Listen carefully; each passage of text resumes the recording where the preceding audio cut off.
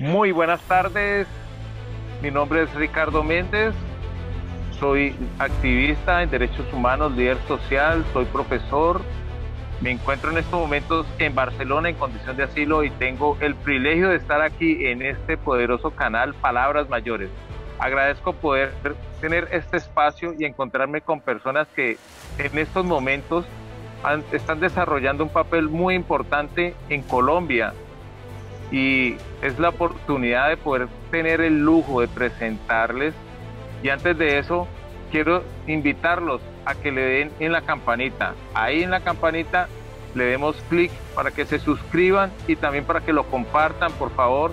Este canal es muy importante porque te permite, no solo a ti, sino a todo el mundo, tener información de primera mano que no vas a poder encontrar en los canales tradicionales como Caracol, como RCN, como El Tiempo, Revista Semana.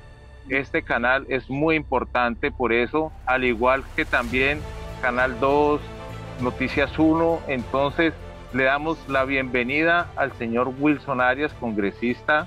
Bienvenido a este poderoso canal Palabras Mayores.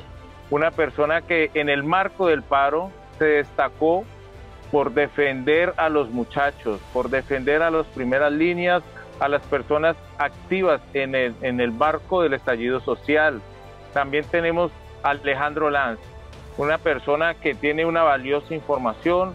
Él representa a la ONG Temblores, que tiene una información muy importante que nos la va a empezar a suministrar. Tenemos a Rebeca desde Frankfurt, Alemania, que le tocó salir, fue expulsada del país injustamente y tiene unas palabras para nosotros. Tenemos al Capi. ¿Quién no conoce al Capi? Tremendo caballero, hombre, mejor dicho, una potencia representante digno del Cauca, que también tiene una información muy, pero muy importante. Y tenemos a Martuchis, lideresa social en el marco del paro, la conocí y es una mujer espectacular. Se encargó de las ollas comunitarias, se encargó de mantener la salud mental de nosotros, los líderes de primera línea, y muy pronto llegará un concejal que vamos a presentar posteriormente y a Oscar Caballero también de Cali. Don Wilson, ¿le puedo decir don Wilson? Wilson, ¿cómo te gustaría que te dijera? Dime Wilson, dime Will, me dicen los, los muchachos de Cali, pero como abreviativo de Wilson, pero como quieras, no te preocupes. ¿Qué ha pasado con esas denuncias a las instituciones? Con esas denuncias que, es más, los derechos humanos tienen esa información. Coméntenos, por favor, a todo el mundo, porque esto está en 11 idiomas. Coméntenos qué ha pasado con esas denuncias. Bueno, con mi saludo a todas y todos. Me ahorro un poquito los saludos, pero saben ustedes que me estoy muy conforme, muy alegre de estar con todos ustedes. Eh, de paso también dar mi gratitud muy especial, ya que hablamos de, de este tema del paro en Cali los derechos humanos. Yo lamento decir en resumen que no ha pasado nada, ha pasado muy poco. En términos porcentuales, pero además en términos cualitativos. Y tal vez la pregunta, yo creo que Alejandro ahora puede detallar más la respuesta, pero la pregunta desde el ángulo político quisiera decirla, eh, el escaso desarrollo de las investigaciones, de la, de la avanzada de, la defensa de los derechos humanos por las autoridades es casi nulo, porque en Colombia vivimos un hiperpresidencialismo. El Ejecutivo y el Presidente de la República tienen dominados los organismos de control antes, frente a lo que ha sido consuetudinario el permanente atropello de la policía y de la fuerza pública contra la población de alguna manera era o morigerado o monitoreado o investigado por algunos órganos, unos más independientes que otros. Pero en estos momentos, la cooptación de la Procuraduría, de la Contraloría, de la Defensoría, de las instancias que podrían estar prestando su concurso un poco más independiente, eh, pues ha hecho novatorios. Esa cooptación dan que, por ejemplo, cuando apelábamos por asuntos de derechos humanos en la ciudad de Cali, ustedes lo vieron, eh, la personería que siempre más o menos nos había acompañado brillaba por su ausencia y solamente después de unas graves denuncias que hicimos pudo tener alguna presencia. Yo quiero en esto no ser injusto con los funcionarios de tradición de esas, de esas instituciones, pero tampoco puedo, en nombre del recato absurdo, dejar de decir que fueron silenciados literalmente durante muchos días eh, y su, su presencia ha sido exigua, timorata, insuficiente y muy frecuentemente ineficaz.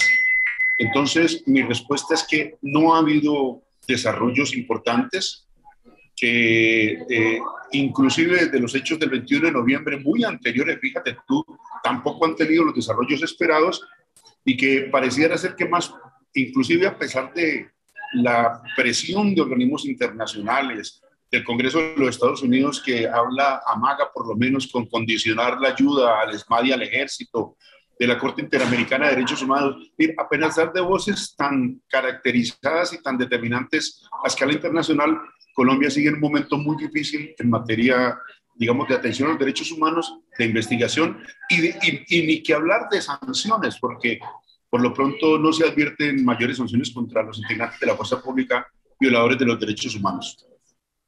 Me encantaría saber de cifras y para esa persona tenemos a alguien como Alejandro Lanz, por favor, cuéntanos a todo el mundo la cantidad en números exactos, si puedes, por favor, a algún corte, alguna fecha de cuántos muertos, cuántos desplazados, por favor, eh, coméntanos a todos, personas que de pronto por primera vez se están empapando desde el exterior, y sería bueno, muy eficiente tener esos datos, esas cifras.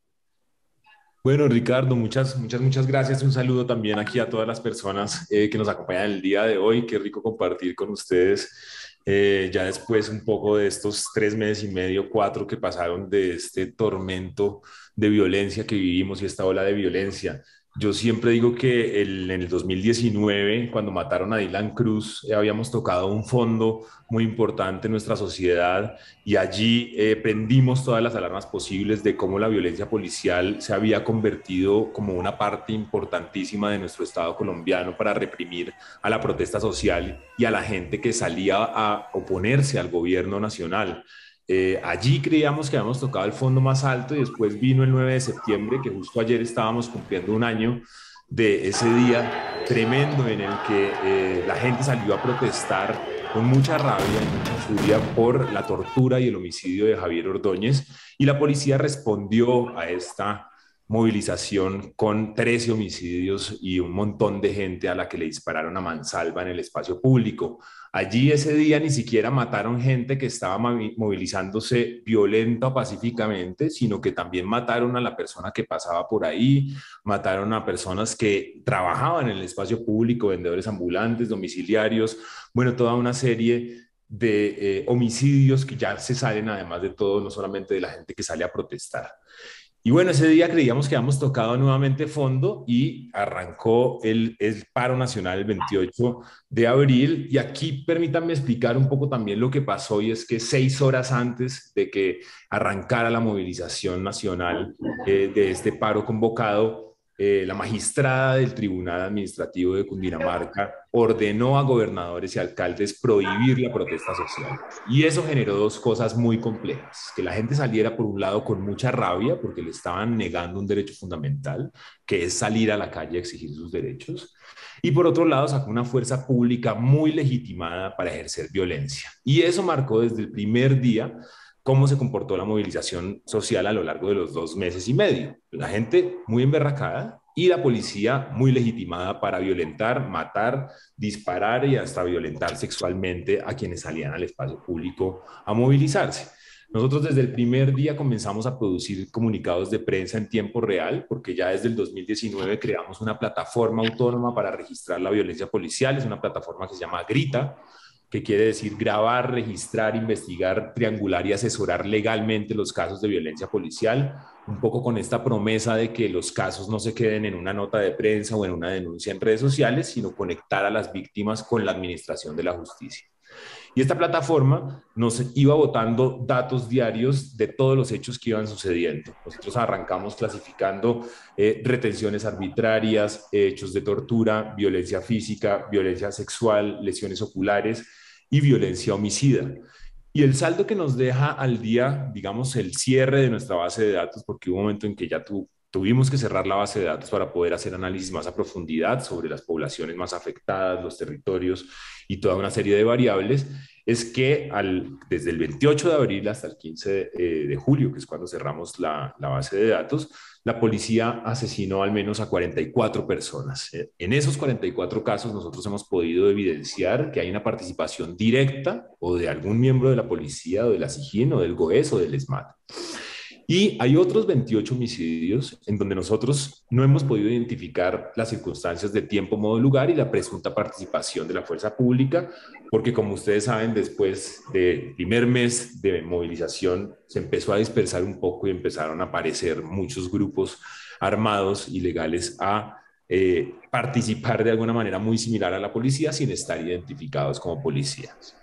Entonces, estos datos, que además son muy alarmantes, pues eh, son como eh, un, punto de quiebre de, violencia, de lo que ya hemos sentido, y son también una constante de lo que nosotros hemos venido documentando.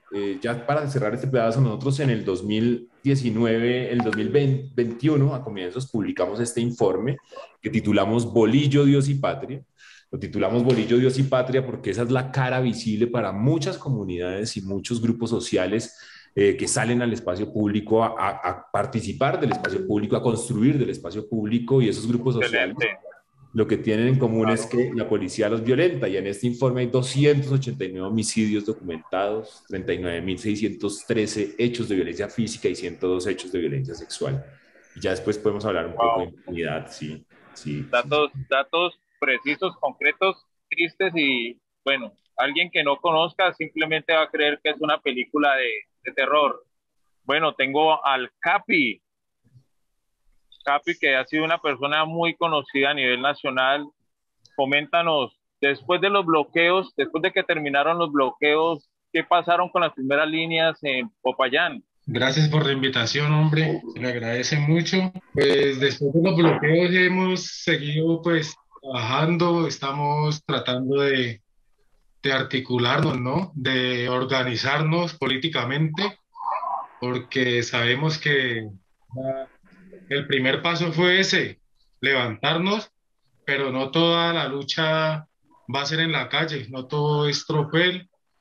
Entonces nos estamos articulando para para organizarnos políticamente y, y tratar de llegar allá a la política. Estamos nuevos en esto, sabemos que no tenemos mucho conocimiento, pero nos vamos a informar, nos vamos a educar políticamente para, para así seguir en la lucha, porque esto no se ha acabado como, como mucha gente piensa, de que el paro ya se acabó. el día de anoche, ayer, a raíz de lo del 9, lo que pasó anoche, hubieron muchos heridos, hay imágenes. Si de pronto hay compañeros de temblor les interesa, hago llegar.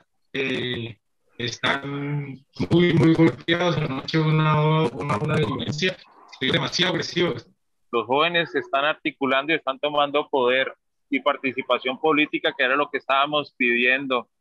Rebeca, muy buenas tardes. Sabemos que estás en Frankfurt, Alemania.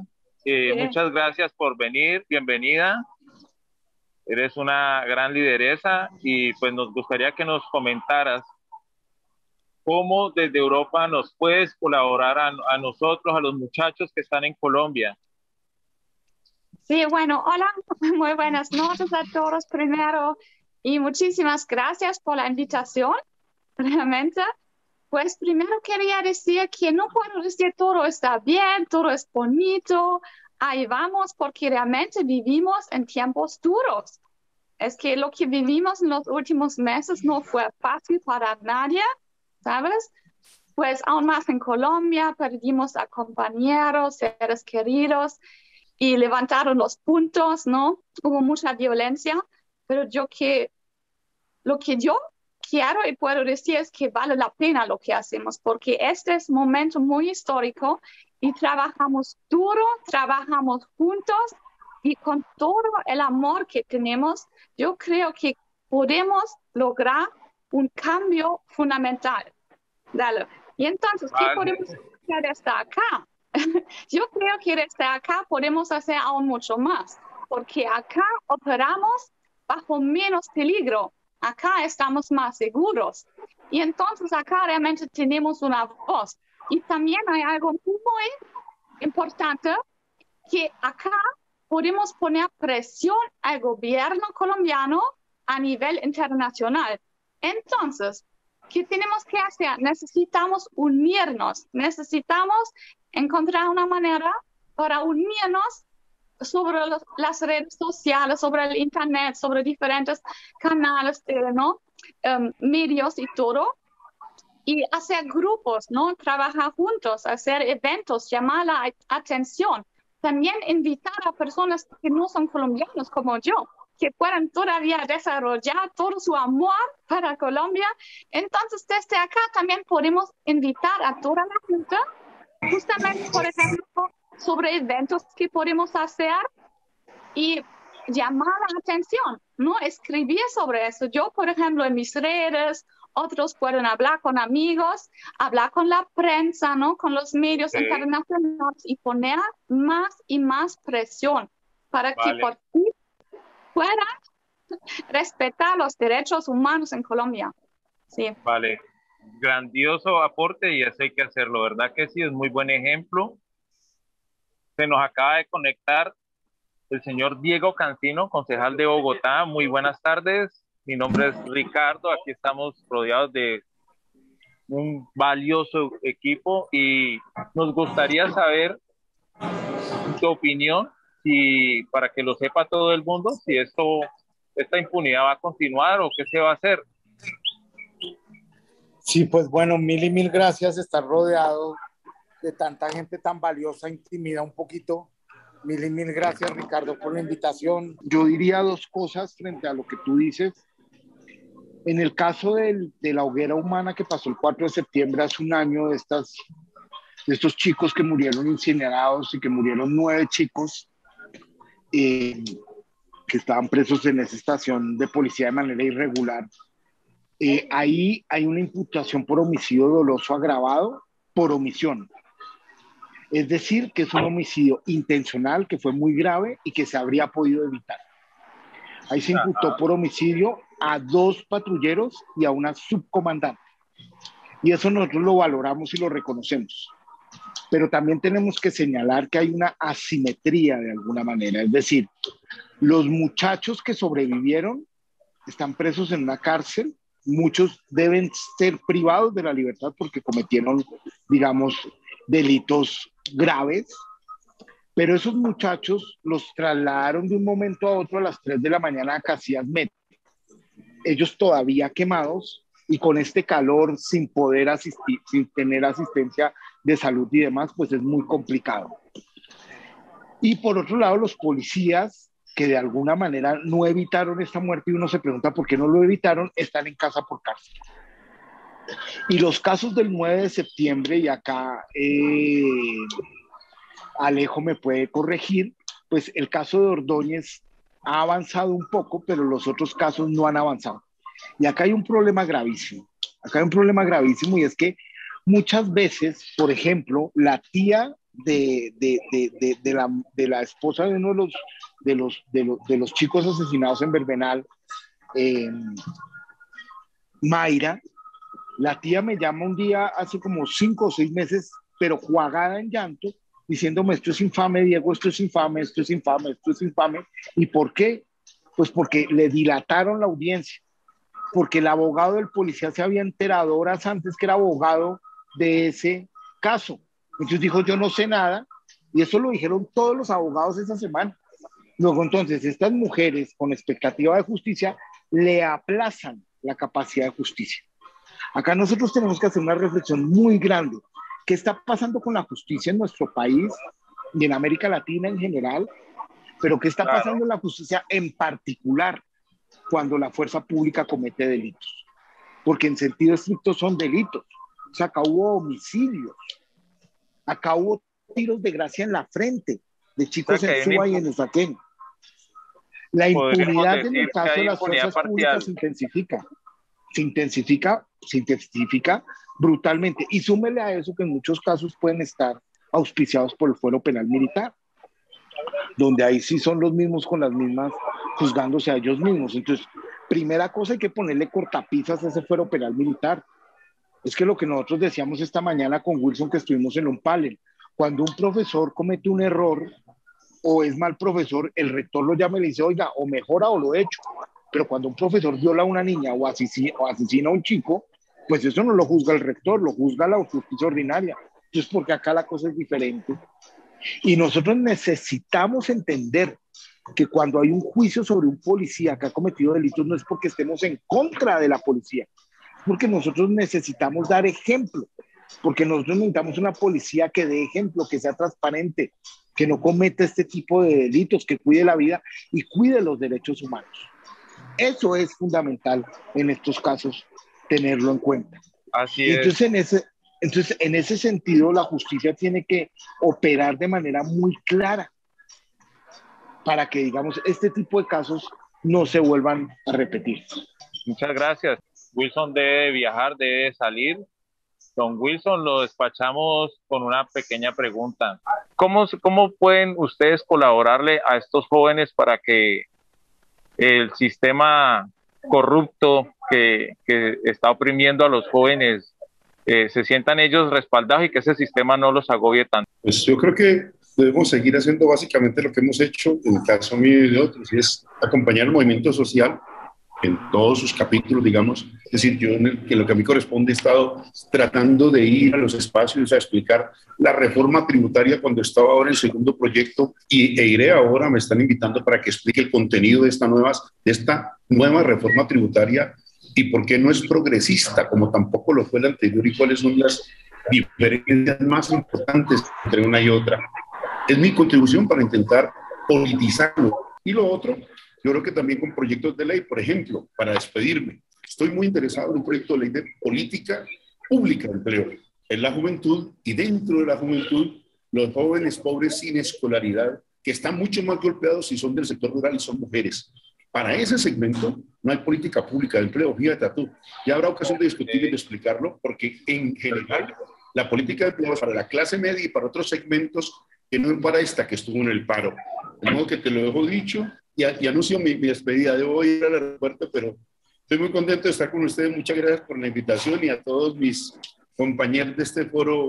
Mi aprecio y mi admiración. Ustedes han sido muy importantes en este proceso. Gracias a ti también, a Pablo, que está detrás de cámaras. Un abrazo. Claro que sí. Bueno, tenemos a Marta. Marta, muy buenas tardes. Me complace verte. Eh, apenas veo tu rostro en cualquier cantidad de muy buenos recuerdos y queremos que le cuentes a Colombia y a todo el mundo después del paro, después de los bloqueos, perdón, eh, ¿qué pasó con Jumbo?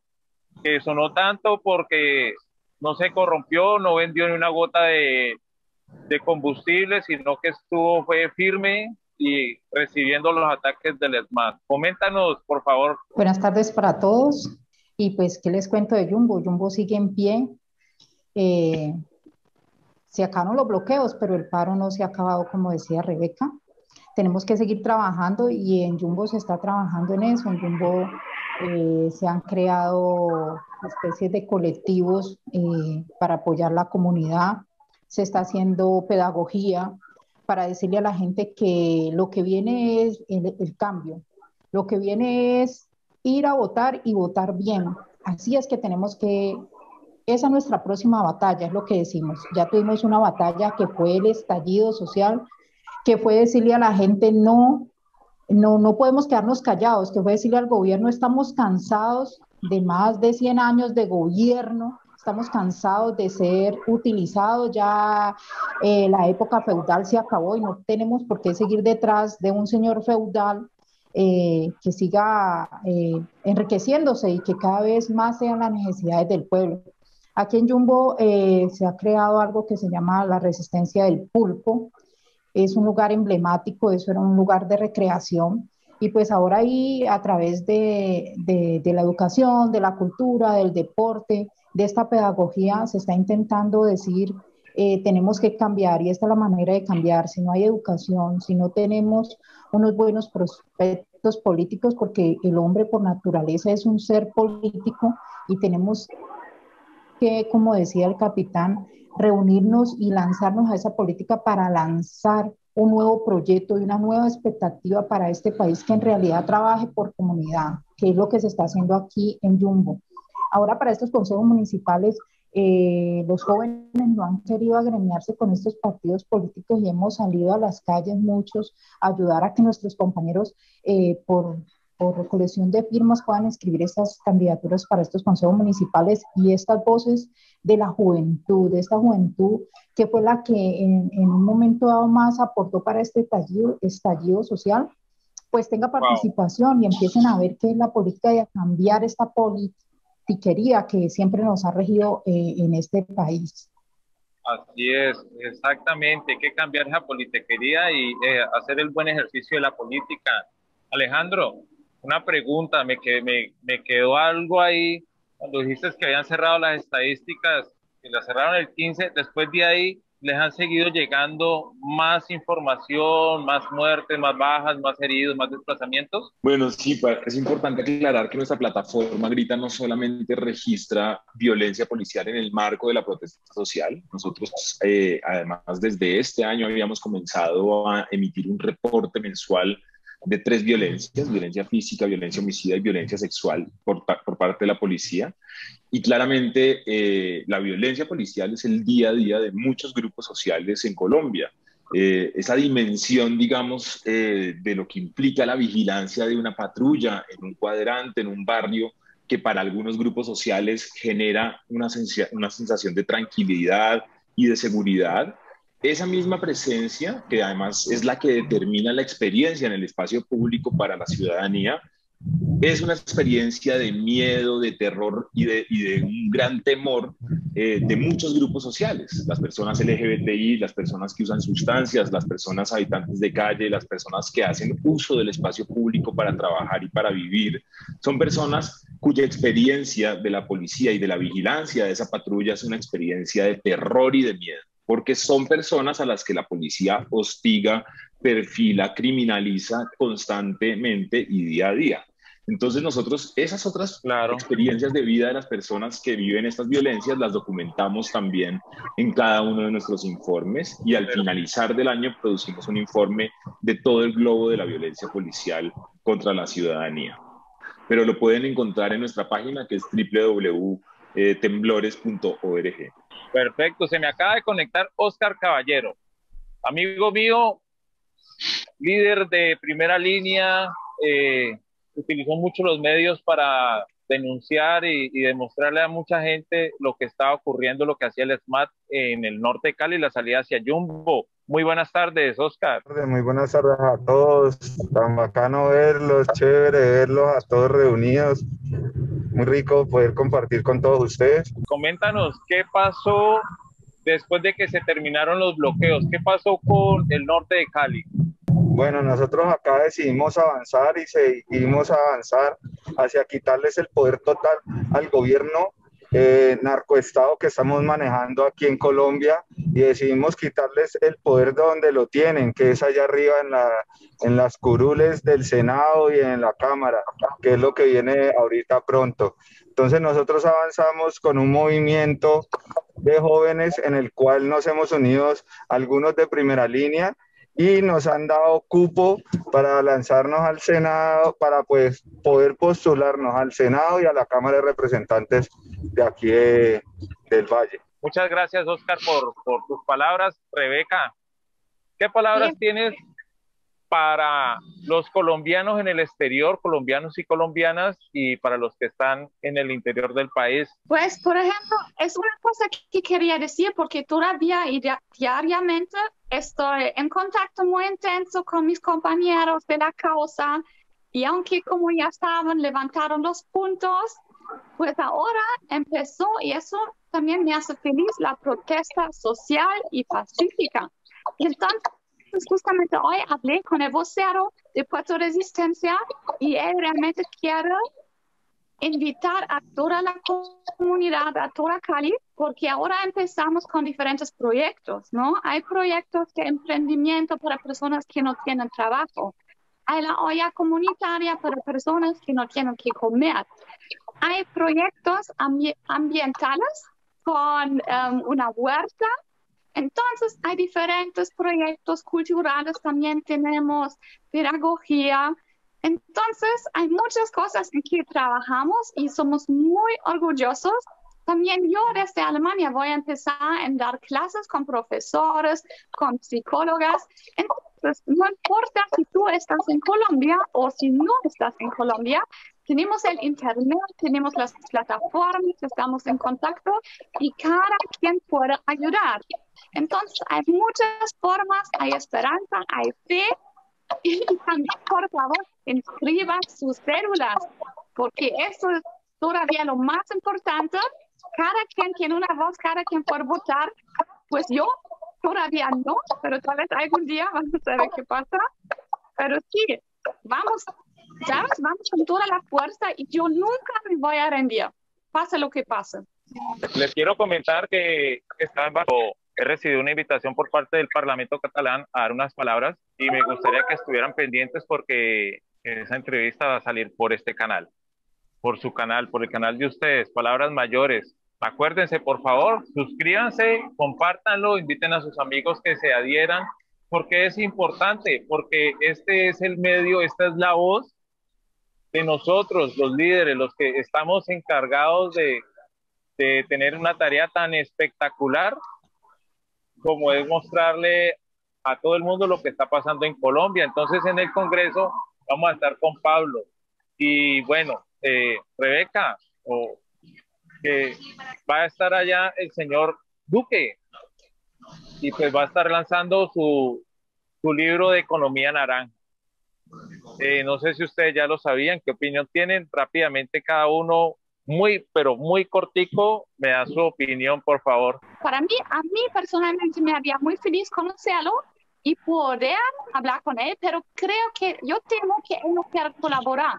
Y por eso espero el próximo año y tal vez un presidente un poco mejor. Esperemos a ver, esto va a ser en Madrid. Les recuerdo, voy a estar en el Congreso. Estoy invitado por parte del Parlamento catalán, pero va a ser en el Congreso en Madrid. Ojalá que le hagan una muy buena eh, bienvenida de movilización, que por ahí he visto una convocatoria bien grande. claro que sí. Eh, y tengo también varias eh, personas que van a estar allá protestando contra Duque. Entonces, así, así lo vamos a que sea bien masivo. Lo invitaron a él y no invitaron a ningún escritor que esté escribiendo acerca de la oposición, que esté escribiendo en contra de, Duque y su gobierno. ¿Qué, opinión tienes de eso, de, que sean tan elitistas y no hayan invitado a ningún escritor que hable mal del gobierno de Duque? ellos siempre quieren tapar con eventos importantes y educativos toda la barbarie que hacen aquí. De ese libro no sé nada, ni lo leería, la verdad, ni por, ni por, ni por, eh, ¿cómo se dice? Ni por curiosidad. La economía naranja la, la, vivimos aquí en Colombia y, y, no es solo de este gobierno, sino de años atrás. Entonces yo creo que, que ningún colombiano cuerdo o ningún colombiano pues que, que tenga que haber vivido todo esto va a leer semejante, semejante libro. Así es, allá ellos, allá ellos con sus cosas. Entonces no, y, y ojalá como decíamos, eh, lo reciban muy bien y él sepa eh, que no a todo el mundo pueden engañar y que no pueden seguir con este narcogobierno al cual estamos sometidos los colombianos. Eh, recordándoles que el Partido Popular está a favor de Duque, abiertamente han dicho que, que, que, defienden a Uribe y es algo pues que, que no nos cabe a nosotros los que estamos viviendo esta tortura, que estamos viviendo esa presión, como un Partido Popular en España pueda abiertamente darle el respaldo a Álvaro Uribe Bello? Pues es como, como la gente viene acá, ¿no? Se imagina uno. Es como lo que pasó con para Colombia. A lo último terminó vendiéndose. Entonces, pero nosotros sabemos que, que nosotros los que estamos en la lucha, los que estamos amenazados, que tenemos la familia amenazada y tenemos el ideal, de llegar hasta las últimas consecuencias. Yo sé, todos sabemos que muertos o presos no servimos de nada, pero desafortunadamente eh, eso es lo que hay, ¿cierto? Entonces, acá vamos a dar la vida si nos toca por esta lucha. No, la dignidad no se vende, la dignidad no se negocia, nosotros, primera línea, no queremos saber nada del gobierno y menos de ese tipo de gobierno. Entonces, lo que el señor Álvaro y su combo haga nos tiene sin cuidado. Nosotros vamos a quitar el poder. Con el cambio soy yo. El cambio soy yo. Cambio son ustedes. El cambio somos todos. Si todos cambiamos, por lo menos la forma de votar, así vamos a cambiar nuestro país. Solamente es eso, la forma de votar. Y para eso estamos nosotros los jóvenes comenzando en esos movimientos políticos a llegar a ellos. Y vamos con el cambio soy yo, así se llama el movimiento político, lo pueden buscar en redes sociales. Y ahí recuerden, si todos ustedes cambian su forma de votar, hacemos un cambio completo en Colombia. Así es. A cada uno de ustedes quiero expresarle mi respeto, mi admiración. Los invito para que continuemos construyendo este país. No quiero despedirme sin antes agradecerle a Palabras Mayores por abrir este espacio, por ser la voz del pueblo, la voz de los que han querido callar, aún la voz de los que ya callaron. Esto es para todo el mundo, que se den cuenta que en Colombia no hay bandidos como lo están pretendiendo, que en las primeras líneas no hay bandidos, que las ONGs y fundaciones no están patrocinando ningún grupo armado, están ayudando y apoyando a los jóvenes que quieren ser una voz, una voz para transformar este poder. El cambio soy yo. abrazo. Que viva Colombia. A parar para avanzar. A votar para avanzar.